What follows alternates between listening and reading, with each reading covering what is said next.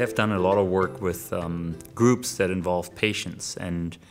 um, to me, one of the biggest insights was that um, patient stories are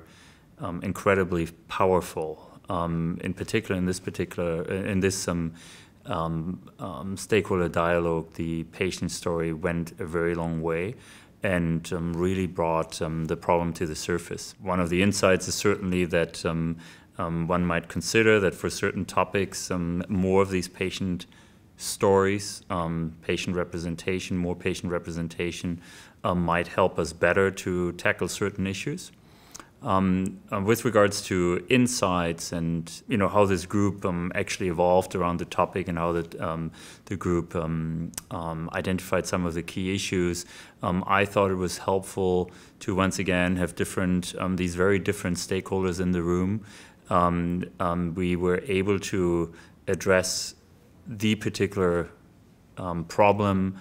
from really multiple points of view um, views um, and um, identified some very key issues with regards to, for instance, um, technology, better monitoring of um, um, patient well-being after surgery. one of the other big insights was probably that we still need much better data to actually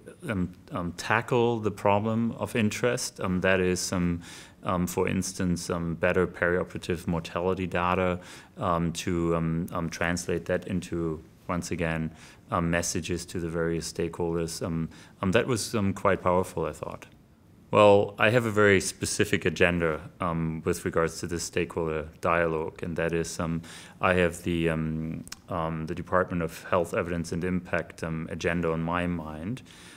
which is to develop research priorities and disseminate um, research priorities and research findings to the various um, um, various stakeholders once again um, that relates to identifying areas that would lead to funding opportunities um, obviously with um, fundamentally having the patient well-being at our heart. So to me the next steps are really to see what